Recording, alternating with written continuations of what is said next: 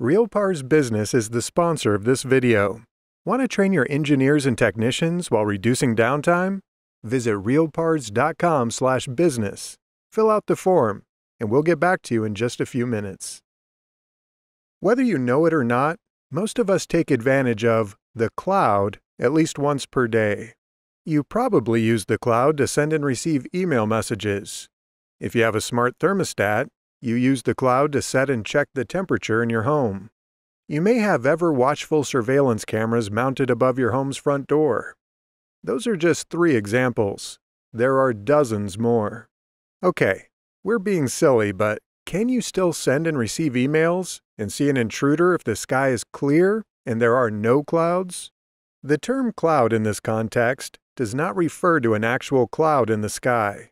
In this video, we'll discuss the cloud and explain cloud computing.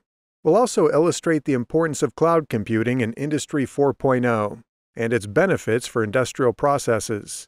We'll also introduce you to cloud models and some key players in cloud services. Let's start by discussing the cloud.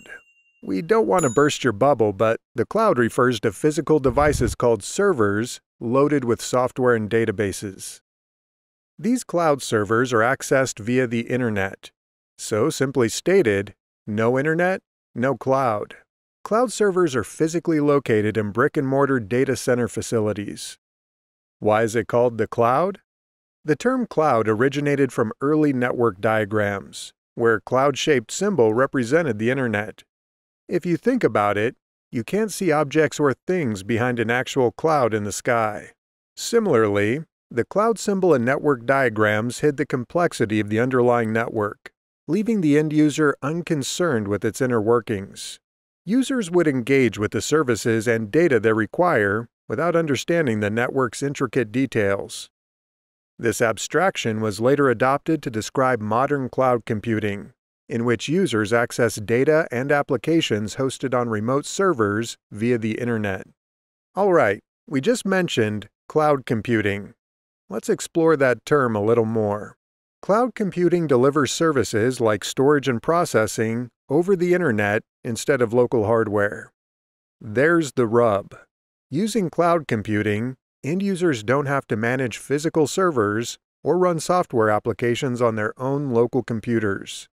It's like an outsourcing, where end users rely on remote servers and services hosted by third party providers for computing tasks such as data storage, processing, and running applications.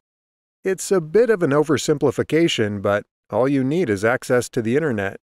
One common domestic application of a basic cloud computing service is cloud-based storage and backup services like Google Drive or iCloud.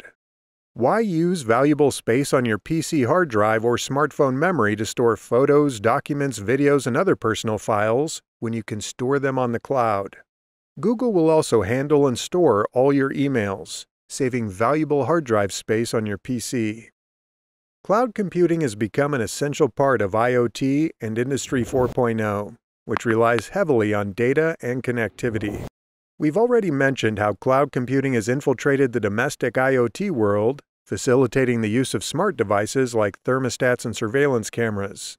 Cloud computing is also used in the industrial IoT, it enables smart sensors and machines to connect, share, and process data in real time, making it invaluable in manufacturing and automation. Cloud computing has many benefits for industrial processes, but one of them is the ability to perform data analytics.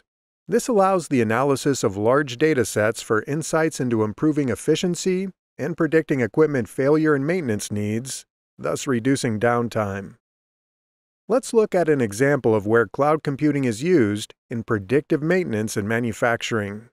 A typical industrial manufacturing plant has several electrical motors performing various tasks. Motor failure results in downtime and lost productivity. Predictive maintenance via cloud computing algorithm analysis is invaluable. Measured motor vibration via an accelerometer sensor is analyzed to predict potential motor failure before it occurs. The accelerometer collects vibration data sent to the cloud, where advanced algorithms analyze patterns and deviations from normal operating conditions.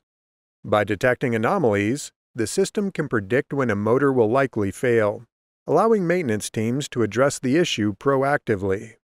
This minimizes failure-forced downtime, optimizes maintenance schedules, extends the lifespan of the motors, and in the long run, improves plant efficiency and reduces costs. High-speed database communication has revolutionized industrial automation as real-time process analysis and control is now a reality. Automation companies like Omron provide high-speed database communication-enabled controllers like the NX502, designed to process critical data rapidly. This capability plays a key role in supporting predictive maintenance by enabling quick and efficient data analysis. If you want to learn more about programming Omron PLCs and get a certificate from Omron, visit realpars.com/courses or check out the link in the video description. Let's discuss third-party cloud computing providers and the services they provide for Industry 4.0. Keep in mind that these services are not free. Amazon Web Services, or AWS, provides secure connections and interaction between industrial devices and cloud applications.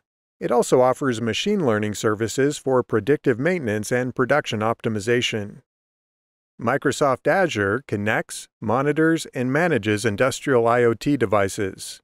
Like AWS, Azure supports artificial intelligence or AI predictive maintenance and production process improvements.